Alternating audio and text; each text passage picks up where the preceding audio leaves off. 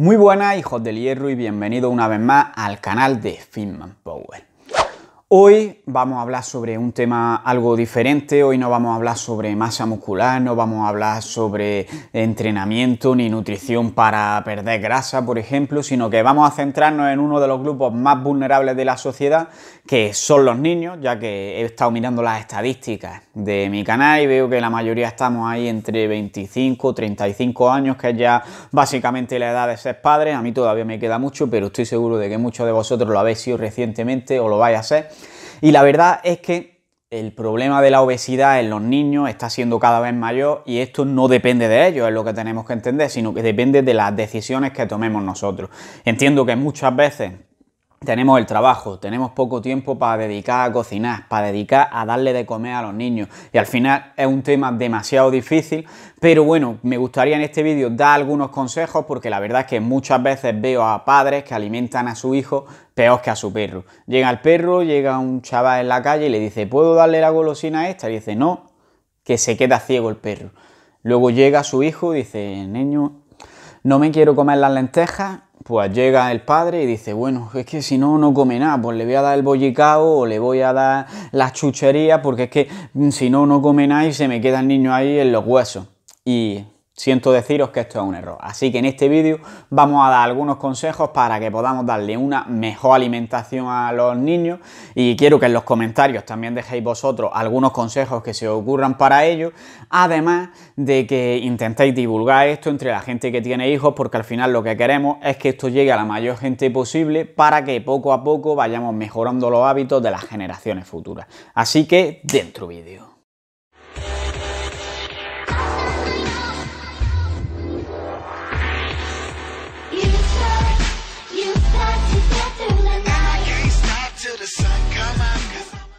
Bueno, lo primero que quiero avisar es que como ya he hablado esto con muchos padres y siempre veo básicamente que se ofenden, se ponen la alarma ahí,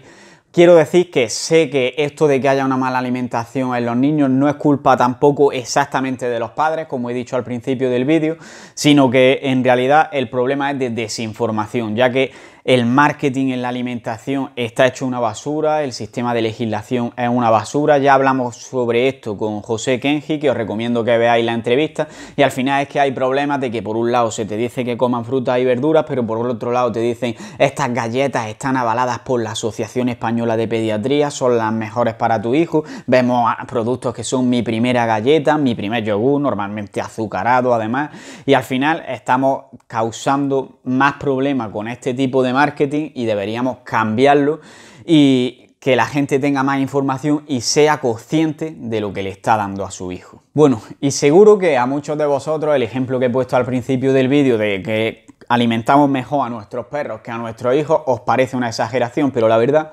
que el ejemplo es bastante bueno para explicar lo que quiero explicar. Porque al final a nuestro perro, ¿cómo le damos de comer? Le echamos pienso en el bol, y él come ya cuando quiere, cuando tiene hambre, no estamos encima dándole con la cuchara y esperando a que coma en el momento exacto que nosotros queremos y lo que queramos que coma. Simplemente le dejamos ahí y él va a comer cuando tenga hambre y cuando le apetezca, que no es que le ponga y se lo coma al instante normalmente. Entonces, lo que tenemos que entender es que comer es un instinto, tanto para el perro como para nuestro hijo. Nosotros también somos animales, aunque conscientemente cambiamos nuestros hábitos a lo largo de nuestra vida, sobre todo cuando nacemos únicamente tenemos desarrollada una parte del cerebro y es la mejor forma de generar hábitos y el mejor momento para generar hábitos buenos en cuanto a la alimentación. En realidad nuestro cuerpo está diseñado para que tú le des energía y sepas cuándo tiene que parar de comer para tener la energía suficiente para las tareas que tiene que realizar, pero no pasarse y acumular grasa. El problema normalmente es que hemos manipulado los alimentos, los hemos hecho que estén muy buenos, que alteren nuestros mecanismos de saciedad y nuestros mecanismos de recompensa y al final no es lo mismo comerse una manzana que comerse una manzana típica de estas de la feria que te la bañan en caramelo y que cuando te la comes probablemente vas a acabar diciendo,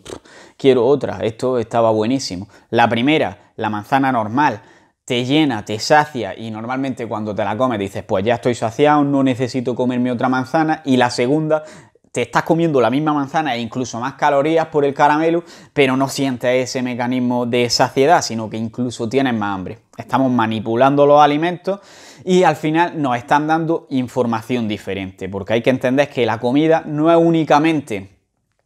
lo que tiene de calorías o de nutrientes, sino que también le da información a nuestro cuerpo de las necesidades que tiene y si estamos satisfaciéndolas de algún modo. Entonces, en base a esto, el primer consejo que podría dar es que no tienen que ser los horarios de comida de un bebé tan rígidos como esperamos. No tiene por qué comer a las 3 de la tarde como comemos nosotros porque sea la hora que nos viene bien, sino que si le damos de comer a esa hora y no quiere comer, probablemente sea porque no tiene hambre, no porque si le da un bollicao sí. Obviamente si le da el bollicao se lo va a comer porque el bollicao está bueno y te lo comes por placer, pero igual no es necesario que se coma el bollicao. Lo que quiero dar a entender es que es mejor que no coma nada el niño a que coma un bollicao. Y esto tiene unas explicaciones bastante obvias que en realidad la gente no tiene en cuenta y no es consciente de ellas, pero que al final es algo muy simple y algo de perogrullo. Y vamos a ver cuáles son estas razones. Y básicamente es que si tú a tu cuerpo le acostumbras a sabores muy dulces,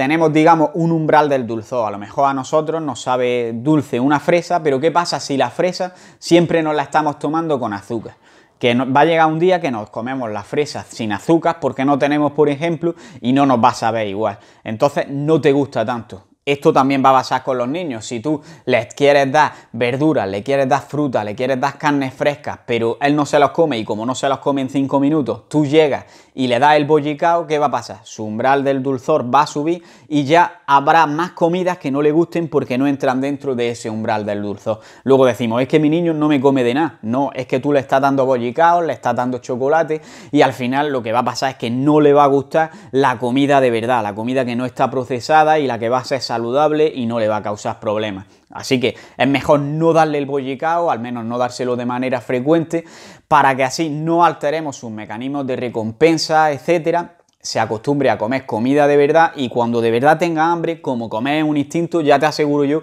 que va a comer. Sé que es difícil porque al final nos cuesta ver a nuestro hijo sin comer o a nuestro hijo a lo mejor pidiendo una tarta, pero al final la tarta no te la va a pedir si nunca la ha probado. Entonces lo mejor va a ser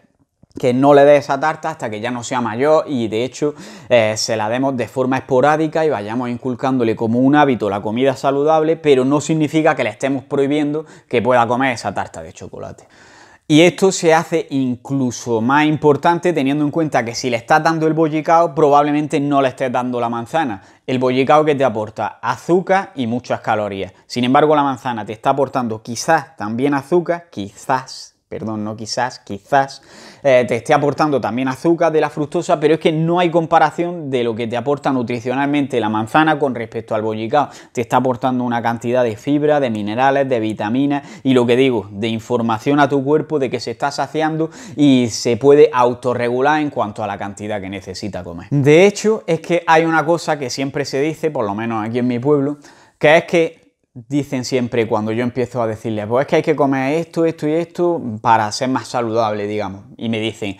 es que me lo quitas todo, es que todo lo bueno engorda. Y realmente no es así ni de coña. De hecho, el sabor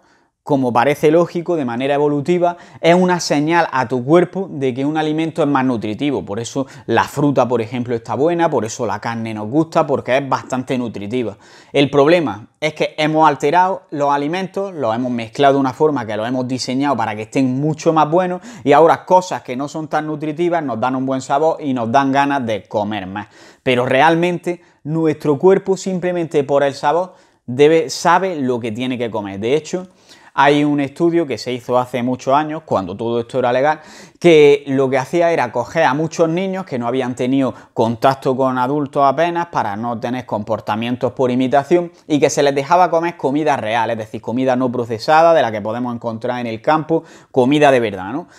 Y lo que se veía es que los niños, dependiendo de las necesidades nutricionales que tuvieran, comían más de una cosa u otra. Incluso si tenían alguna enfermedad, comían más del alimento que necesitaban para eso que de otros alimentos. Esto puede parecer ciencia ficción, pero no lo es. Si encuentro el estudio, lo dejaré por ahí. Yo lo leí en el libro de Fitness Revolucionario y me fío bastante de él.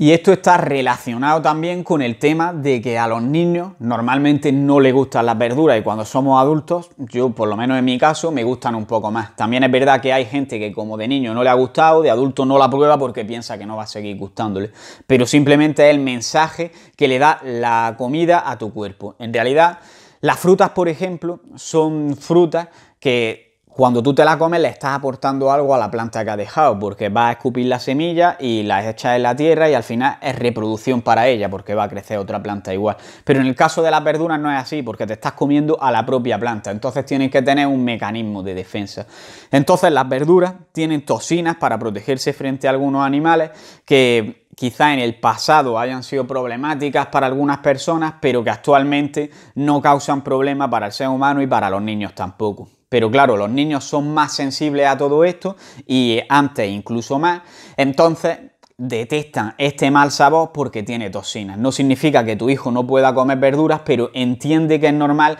que no le gusten o que quiera comer menos. Pero aún así, intenta darle siempre que pueda y empieza por las que más le gusten y poco a poco va inculcándoselas en la dieta. Y bueno, todo esto, como ya he adelantado antes, no significa que a tu hijo tengas que prohibirle que coma bollicaos, que coma dulces, que coma tarta, etcétera, sino simplemente que no lo vea como algo normal. Yo siempre recomiendo en cualquier casa que los alimentos tipo helado, tipo bollicao, etcétera, no se tengan en la propia casa, pero no pasa nada si un día sales por ahí a comer y te pides un postre o algo, pero no tenerlo como un hábito de comerlo en el día a día. Pues esto mismo es lo, que le tenemos que inculcar a los niños, que normalmente tengan una dieta sana, pero si un día se va al cumpleaños de su amigo, pues no pasa nada porque se coma la tarta, porque se coma la pizza que te ponen en el telepizza o cualquier otra cosa. Es una situación excepcional y se come ese alimento de forma esporádica sin darle ninguna importancia. Al final, el niño va a hacer a lo que esté acostumbrado. Como está acostumbrado a comer de forma saludable, cuando sea más mayor es más probable que él por sí solo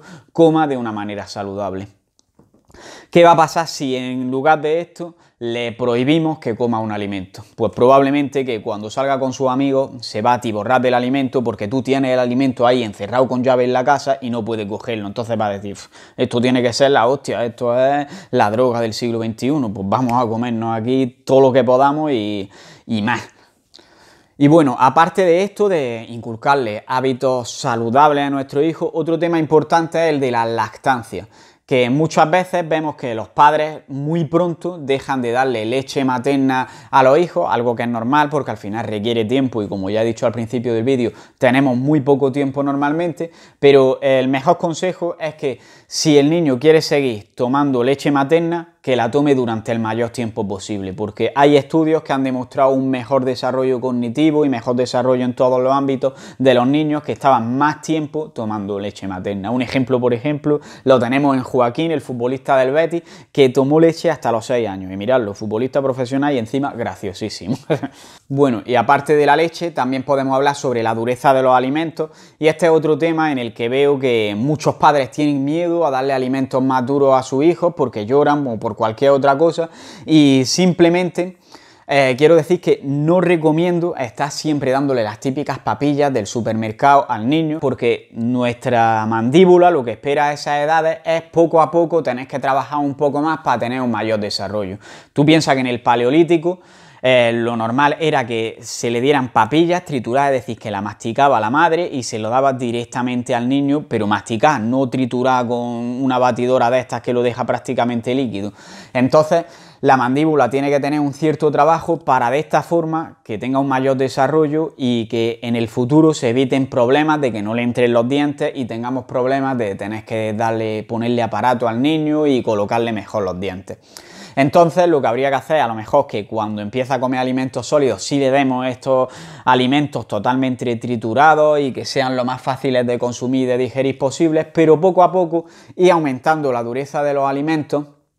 eh, por ejemplo, dejándole algunos tropezones, triturándolo durante menos tiempo, después vamos a ir dándole ya frutas blandas como puede ser un plátano, le vamos a dar poco a poco algo más duro como puede ser por ejemplo patata, que la vamos a cortar en trozos para que no se meta trozos demasiado grandes en la boca. Y al final vamos a darle por ejemplo manzana también cortada en trozos para que no se los meta demasiado grandes en la boca para que poco a poco vaya comiendo ya alimentos enteros y acabe comiendo como un adulto. Y de esta forma lo que estamos haciendo para los que me sigáis sepáis lo que es, el principio de sobrecarga progresiva es que para que nos hagamos más fuertes es que digamos tenemos que darle cada vez un mayor estímulo a nuestro cuerpo. Pues la mandíbula se le aplicaría esto. Empezamos con las papillas y poco a poco vamos dándole alimentos más duros para que fortalezca su mandíbula y evitar problemas dentales en el futuro.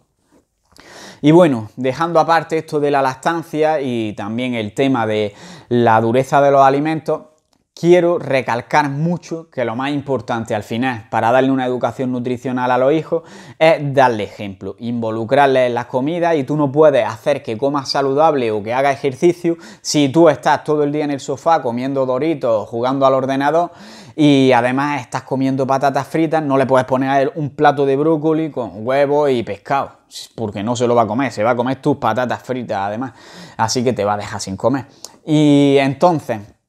eh, lo que hay que hacer es darle ejemplo, pero además de ello, involucrarle en las actividades. Es decir, que cuando a lo mejor el fin de semana tengas tiempo y hagas una comida saludable en casa, pues que te ayude, que participe para que lo vea como algo divertido, te ayude a echar la sal, a echar los ingredientes, se sienta como uno más y al final también esto y hacerle participar en el ejercicio, por ejemplo, entrenas levantándole, le haces que haga los mismos ejercicios que tú, le pones a hacer le pones desafíos y a cambio le da a lo mejor algún premio, pues esto va a hacer que a largo plazo tenga unos mejores hábitos, va a hacer más ejercicio y también va a tener unos mejores hábitos en cuanto a la alimentación. Y no quiero tampoco daros la chapa mucho ni enrollarme mucho más, porque al final sé que este es un tema complejo, que es difícil de aplicarlo en la práctica, pero que sé que si lo aplicamos va a ser muy útil y vamos a ayudar a comer bastante mejor a los niños y vamos a tener una generación más saludable en el futuro. Entonces, simplemente deciros que en los comentarios me podéis dejar lo que queráis, tanto si os ha gustado el vídeo como si no, como si queréis añadir algo para que lo lea la demás gente que vea el vídeo.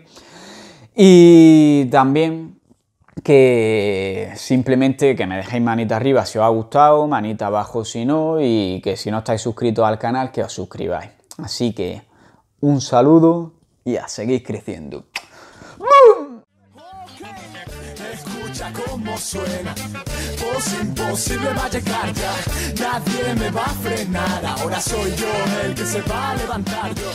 escucha cómo suena.